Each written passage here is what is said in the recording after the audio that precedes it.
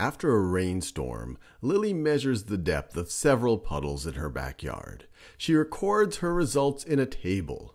So here are three different puddles, and she measure, measures the depth in inches. And then we're asked how much deeper was the puddle under the swing than the puddle on the sidewalk. So pause this video and see if you can figure that out. So they say how much deeper was the puddle under the swing so that's this one right over here. That's one and one fourth inches deep. It's under the swing. How much deeper was that than the puddle on the sidewalk? Let me do that in a different color. The puddle on the sidewalk. And we see here the puddle on the sidewalk is two fourths inches deep. So what we could do is subtract the two fourths from the one and one fourth. So we could write one and one fourth minus two fourths. We could write it like that. And we could try to subtract the fraction part, 2 fourths, from the fraction part of this mixed number up here, from 1 fourth, but we immediately have a problem because 2 fourths is a larger fraction than 1 fourth. So how do we deal with that?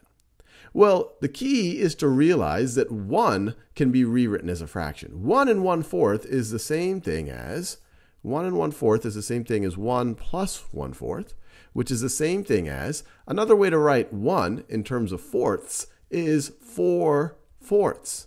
So this is 4 fourths plus 1 fourth plus 1 fourth, which is going to be equal to 5 fourths.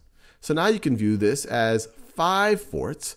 This number is the same thing as 5 fourths minus 2 fourths. Let me rewrite it. Minus 2 fourths minus 2 over 4. And that's pretty straightforward. If I have 5 of something and I subtract 2 of it, I'm going to have 3 of that something. And in this case, I'm talking about 3 fourths. So this is going to be 3 fourths. So how much deeper was the puddle under the swing than the puddle on the sidewalk? Well, 3 fourths of an inch. And just another way that you could have visualized this is, look, I'm going to subtract 2 fourths from 1 and 1 fourth. At first, we could have thought of 1 and 1 fourth as a whole like this. And then, so let me say, shade it the whole in. That's 1. And then I would have a fourth of a whole. So let me divide this into four equal sections. So this is 1 and 1 fourth. And at first we said, well, how do we take away 2 fourths from just that? I only have 1 fourth right over here. And our key realization is, well, look, I actually, this whole right over here is actually 4 fourths. I could think of it as 4 fourths. So I could think of it like this. And now I have 5 fourths. 1, 2, 3, 4, 5 fourths.